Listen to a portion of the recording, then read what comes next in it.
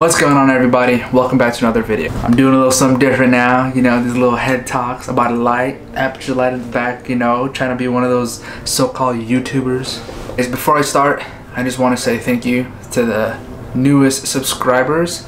There's about 5 to 10 of you guys and I really do appreciate every single one of you guys. So before the video starts, I want to get you guys up to speed. In the beginning of this video, I actually recorded this about two to two and a half months ago. That's when I just started taking out all the stickers from the bus. And I'm to be interrupting you guys about two times in this video because I just don't want to leave any gaps. Without further ado, let's start the video. I picked this bus up on February 16th and I started working on it today, which is the 17th.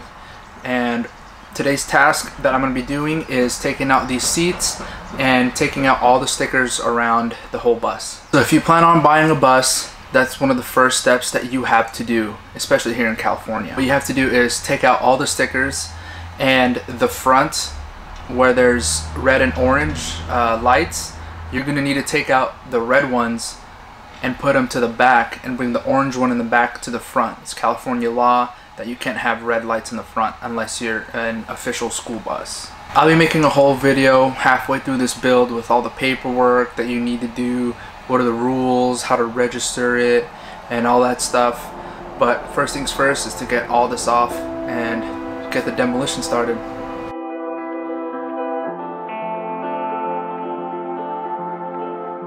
So yesterday I actually started it and this is what the back looks now.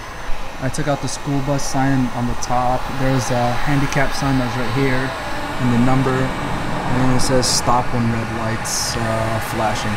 So the way that you take out the stickers is you use a, a heat gun. My uncle bought this, what, how many years ago? Five? five years ago at Harbor Freight for what, 20 bucks you said? 30 yeah. bucks? 30 bucks, 20, 30 bucks. And we're just using a chisel or my uncle's just using his finger. But uh, what you do is you gotta heat up the uh, sticker uh, so that the adhesive melts a little bit and it just starts peeling off slowly. Okay, I'm doing this whole side right here. I gotta take that one up top off the one that I'm gonna have a challenge with is this one up top right here. Yeah, once I finish that, then uh, I have to remove the uh, stop sign that's on the side. Hopefully we could finish this today and then uh, take out the seats later on tonight.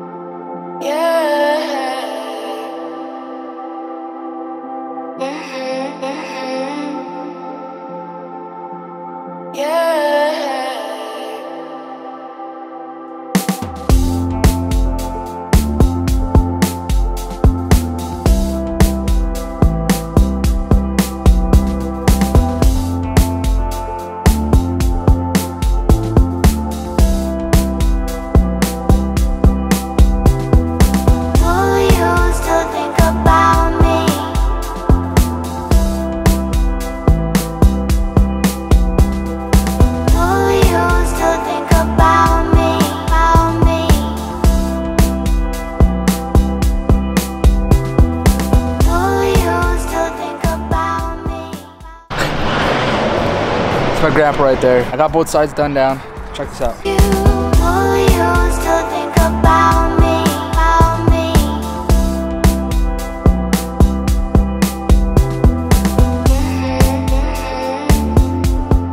Both sides are done. Now I just gotta go to the top. I just don't know how I'm gonna do it.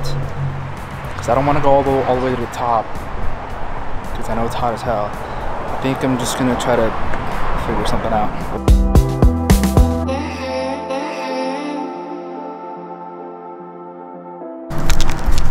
Alright guys, so I was about to finish it, right? But remember how we said that the thing was five years old? Yeah, it broke. I was, uh, what do you call it? Heating up the sticker, then all I hear is pop, pop, like a shortage. And I was like, oh man, you know, the freaking, um, it probably got unplugged. Nah, dude, nothing broke. So I'm about to go to Home Depot, get a new one, and then uh, finish this off right before it gets darker so I could work inside and get the uh, seats out. So we'll see you guys whenever I'm back. So yeah, I said whenever I'm back. I never said how long. That's two and a half months later. This next portion was actually shot about seven days ago. Within those two months, stuff came up and I didn't really have enough time to work on the bus. I also waited for Emily. She was gone in South Carolina. So I wanted to wait until she got back. So yeah, no more talking. That's what happened. And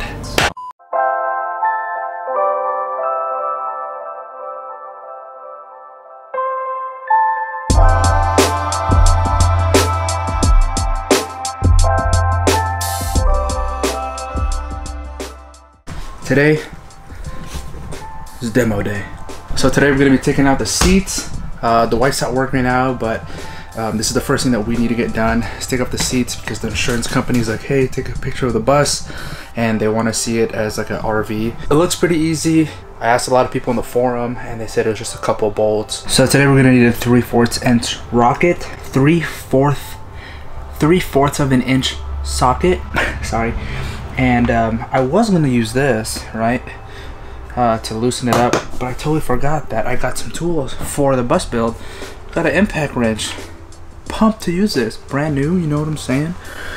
Ryobi, what's up? Hit me up. So there's a couple bolts I need to take out. Some here on the tracks uh, on the floor. And there's like four that are under here somewhere. Or two. Let's see how easy this is gonna be.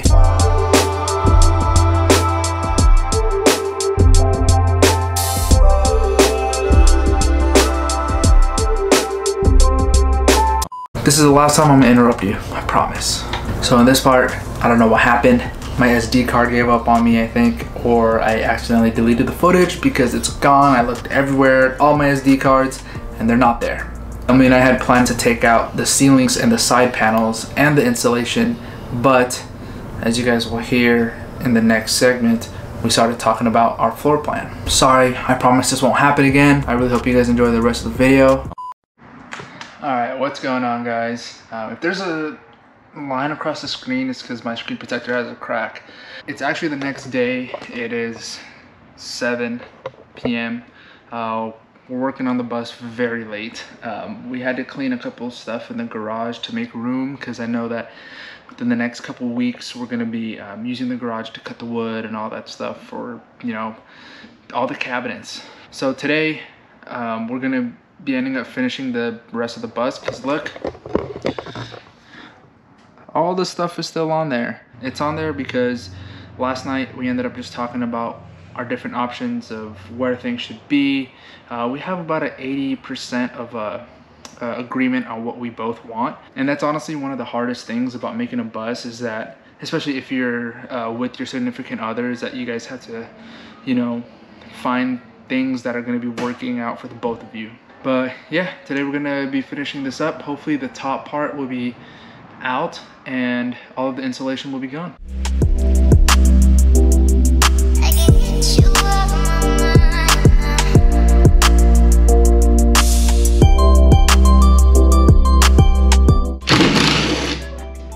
Oh, that's the light.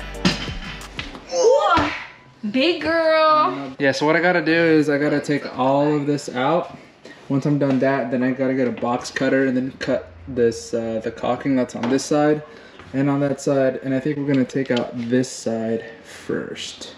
Yeah. It's gonna be a long evening.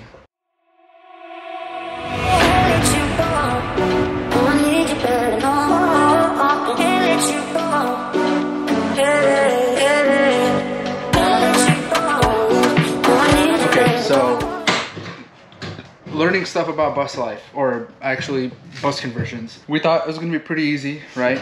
But of course you live and learn. So if you guys have a 2010 Chevy Collins or maybe some type of Chevy um, bus, this part right here, I believe they tack weld it from the back, I think, because you have to go under with the screwdriver and you have to just pull it back and then you'll hear a snap.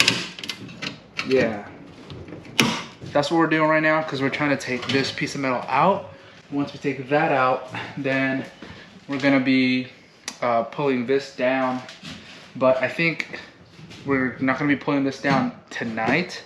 because I have to take all of these rivets and I have to drill all of them out.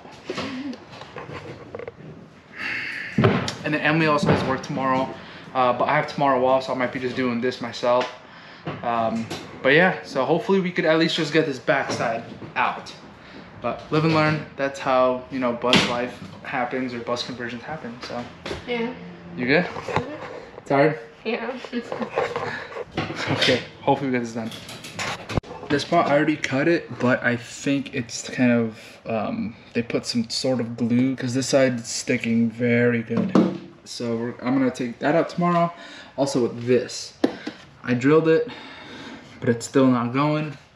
So I'm gonna be finishing all this up tomorrow. I know I said I'd try to do it today, but we started super late. It's already dark out, lights in, but it's okay because now I know what to do for tomorrow. So first thing in the morning, work out and then do this. See you guys tomorrow. Good morning, everybody. Here's a new day. Today, I'm working on the bus, but not yet. The only reason why is because we're taking this to the muffler shop. I'll explain to you guys later what happened, but pretty much my catalytic got stolen. I'm gonna try to see if I can show you guys. I don't know if you guys can see that. But where that metal piping is, the, the very, very clean one, that's where it was supposed to be at. Before I have to get it registered, I have to get that fixed. We're gonna go head out there right now to a local shop. His name is Anthony. They have a really good price. They're very good. They worked on my 4Runner and my uncle's Priuses. So if you're ever in the Whittier area, then uh, go hit them up.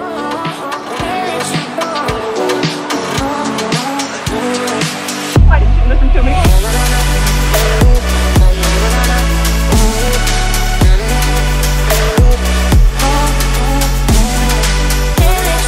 Alright guys, good news. I'm back in the bus.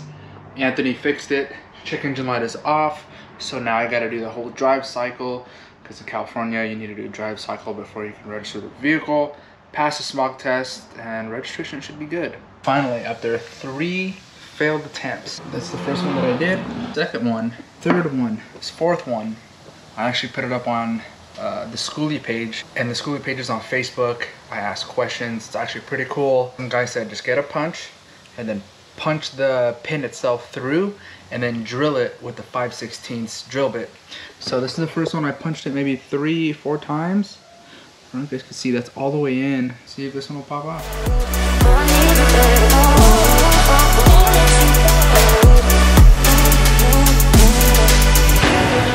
You guys are wondering why I'm wearing this, long story short, in the Air Force, I went to some training. I had to qualify for some shooting, and my earmuff on my left ear, or my little small earpiece, came out. So yeah, I lost some hearing on this side. So now, I got all of these. Okay, real quick. If you guys are gonna be doing this, don't be like me and use your fingers for this punch. Thought about this so that it'll save your fingers and it's definitely gonna save mine. Get a vice grip, put that on there, put it right there, and hammer away.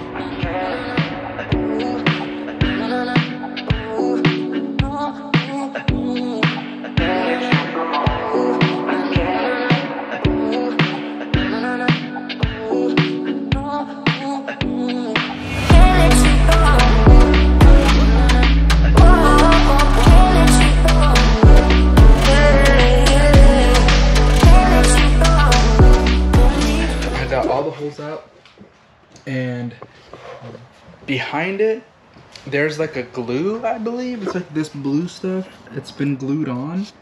So it doesn't fall right off so you gotta use some elbow grease. What I'm doing is putting a hammer like this. And be careful because the first one that I did all the metal um, shards ended up flying towards me so I sweep them all out I pretty much just do this and then I just